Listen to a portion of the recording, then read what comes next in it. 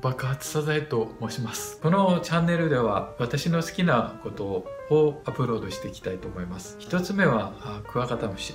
クワガタムシが取れないですね。東京は浅草で生まれ育ちました。クワガタムシに対する思いがですねあるまんま完全燃焼のまんま育ちました。転勤を機にクワガタムシ取れる機会がありまして以来クワガタムシにずっとハマったまんまになっています。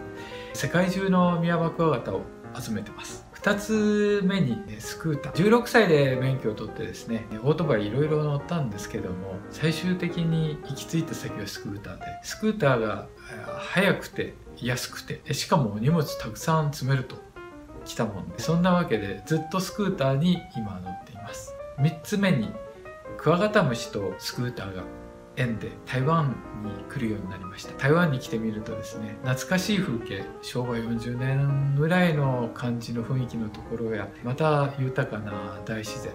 あとはですね台湾にたくさん友達ができました。台湾にどっぷりハマっています。皆さんにもそんな素晴らしい台湾をご紹介できればいいかなと思っています、えー、皆さんまたお会いいたしましょう。